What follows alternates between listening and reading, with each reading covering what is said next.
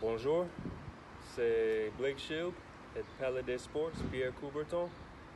Uh, wanted to check in with everybody and um, hope that everybody is okay after the quarantine. Um, hope that everybody stayed safe and stayed strong throughout this trying time. Uh, it was a trying time all over the world, and I feel like everybody was able to stick together and move forward. Darkest days are behind us. Uh, I also wanted to take this time to say thank you to the club of CCRB, the supporters, and uh, my former teammates, uh, and everybody surrounding the basketball club of CCRB.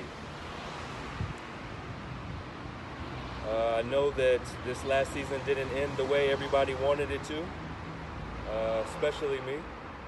Um, I feel like there were goals left unachieved, um, but we can use this as motivation personal motivation, uh, team motivation, and use that moving forward.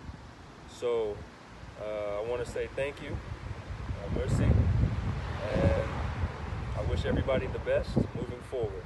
Voila.